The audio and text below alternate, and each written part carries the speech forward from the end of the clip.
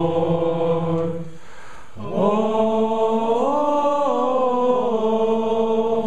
sometimes it causes me to tremble, tremble, tremble.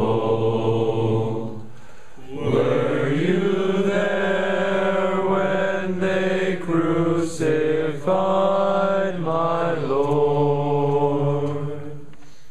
Name of the Father, and of the Son, and of the Holy